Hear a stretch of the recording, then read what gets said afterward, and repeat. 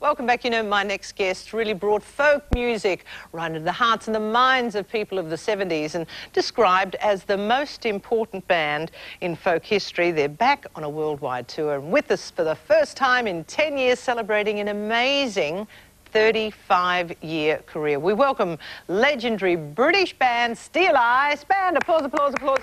Don't you love the, the sound of one hand clapping? We're small but elite in here.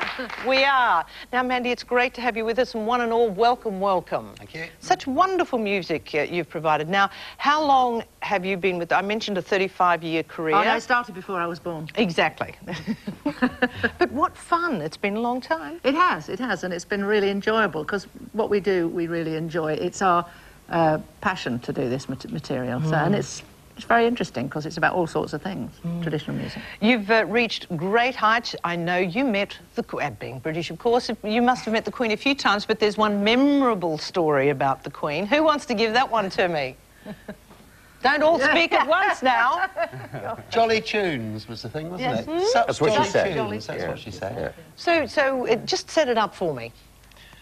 I don't know what the story you're talking about is about the Queen. Well, you all shook hands with, with the oh, Queen, yeah, except one. Except one, poor Nigel Pegram, who lives mm. in Australia, mm -hmm. and we were told that the Queen would shake our hands. There'd be a photograph of us shaking hands with the Queen. Mm -hmm.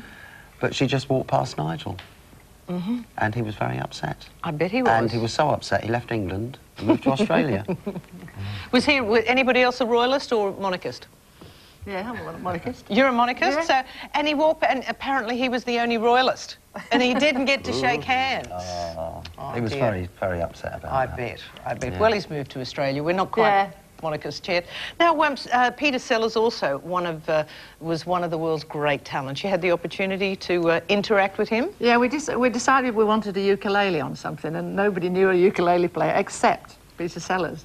And I don't think anybody had ever asked him to play ukulele before or since. so, so, it was very interesting. He was very nervous, wasn't he? It was fantastic. Um, and we wanted some, some, some of his funny voices, like the Goon voices, and we didn't know how to ask him. What was it on for? It was on a track called New York Girls. Mm -hmm. And uh, we thought, well, we can't ask him to do voices, you know. So he did the ukulele part, and then um, he just said to us, he said, would you like me to put some voices on? We went, great. So yeah. that's how he did, yeah. Lovely Excellent. man. Lovely well, what a fun career. I'm going to let... What song are you going to do for us today? It's called The King. The King, OK. By the way, there's some wonderful tour dates. Um, I'm going to put those up on the screen before I take uh, take my leave of absence. There you go. Hey, you're moving around the country. State Theatre in Sydney, Canberra, Twin... Oh, you love Twin Towns. Uh, also there, the uh, Empire Theatre in Toowoomba. We love Toowoomba. That's up in Queensland. You'll enjoy that. Mm -hmm. Ladies and gentlemen, this morning with us, Steeleye Span and The King.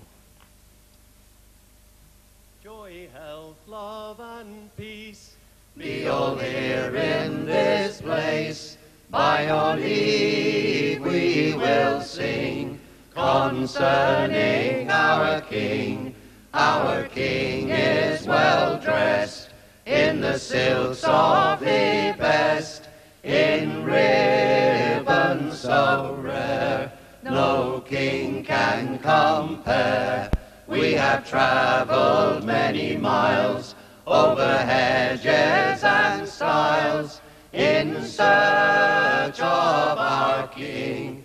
Unto you we bring, we have powder and shot to conquer the lot. We have cannon and ball to conquer them all.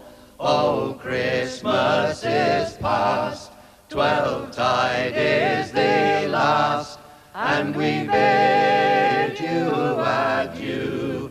Great joy to